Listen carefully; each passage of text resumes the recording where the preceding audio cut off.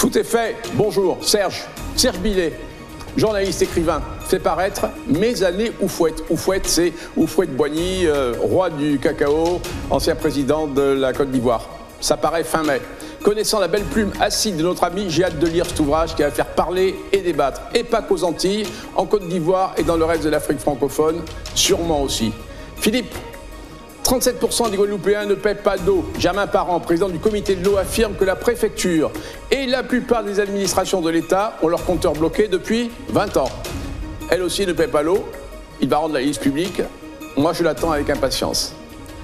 Georges, la Guadeloupe en tant que pays insulaire, éloigné d'un certain nombre de continents, donc isolé, notamment de l'Afrique, de l'Europe et de l'Asie, pas suffisamment inséré dans son continent d'origine, l'Amérique, a besoin de ce genre d'événements la Biennale de Venise, pour échanger avec le monde.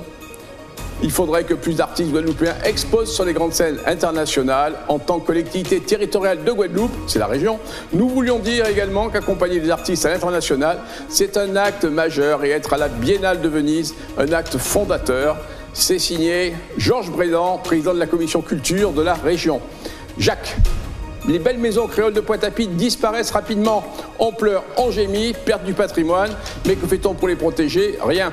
Que font les héritiers de ces belles maisons? Que font les autorités pour aider ces familles? Rien.